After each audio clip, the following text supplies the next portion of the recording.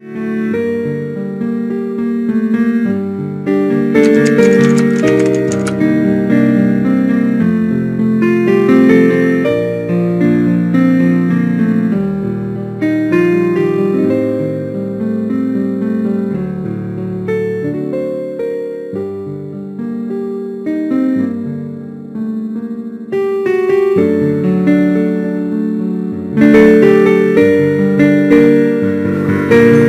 viện Nhi đồng thành phố Thành phố Hồ Chí Minh cho biết đến nay sức khỏe cặp song sinh Trúc Nhi Diệu Nhi hoàn toàn hồi phục, hai bé hoạt bát lanh lợi và ăn ngủ tốt.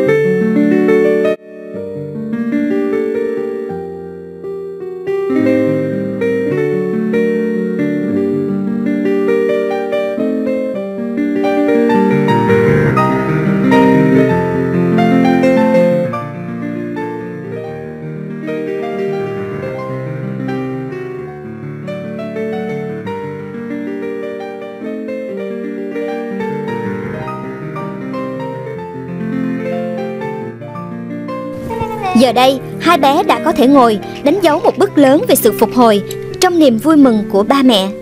Chuyên gia dinh dưỡng Bệnh viện Nhi đồng thành phố cho biết hiện Song Nhi được 14 tháng tuổi, mỗi bé nặng khoảng 8 kg, chiều cao ước tính 72 cm. Hai bé có thể ăn hoàn toàn bằng đường miệng, uống 7 cữ sữa mỗi ngày.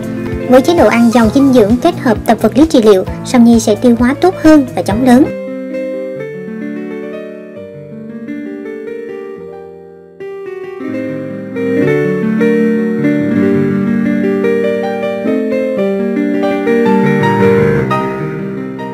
Ngày 15 tháng 7, hai bé được cắt rời thành công sau 13 giờ phẫu thuật.